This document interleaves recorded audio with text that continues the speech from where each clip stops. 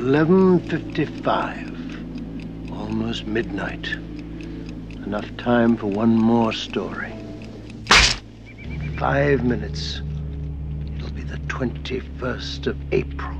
It is told by the fishermen and their fathers and grandfathers that when the fog returns to Antonio Bay, the men at the bottom of the sea rise up.